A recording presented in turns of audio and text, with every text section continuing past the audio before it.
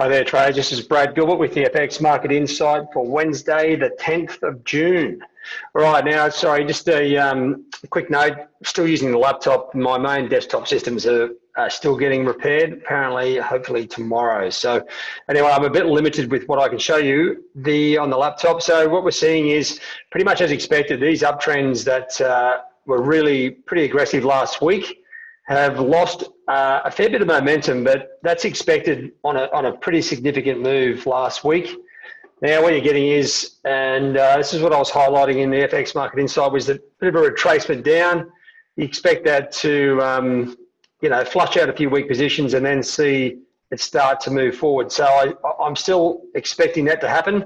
If anything, Sterling did it quicker, straight down to support and then back higher. That's a pretty aggressive bullish sign and euro looks like it's going the same way, as is uh, dollar CAD. Bit of a pullback towards 135, and now back at 134. Now the big surprise to the ticket is dollar yen.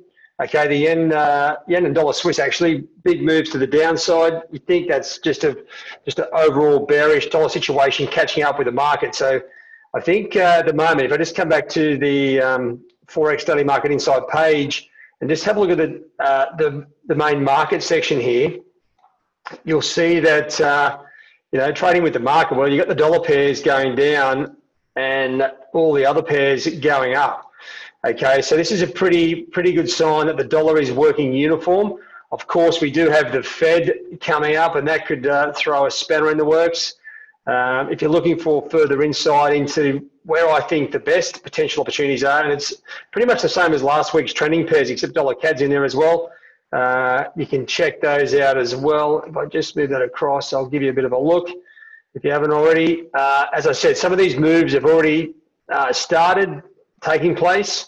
In particular, as I was sort of pointing out here with uh, Sterling, um, sort of dropping uh, right down towards the trend line and back higher. That's probably the best one to look at so far. The others probably not as deep a retracement. So at the start of the week, this is what you've got to deal with. You've we've got the last week's trend, So don't just sort of run in. You have to wait for the retracements. Now they start to come back.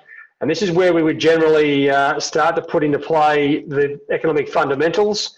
US CPI number, that's going to be pretty, pretty important, but overshadowed by the Fed, right, which is, um, you know, six hours later or something like that. And then you've got the press conference there as well. So this is going to be potentially shaping all major currency pairs. Uh, there's a, a, bit of talk around that the Fed were going to do something to curb the recent rise in bond yields.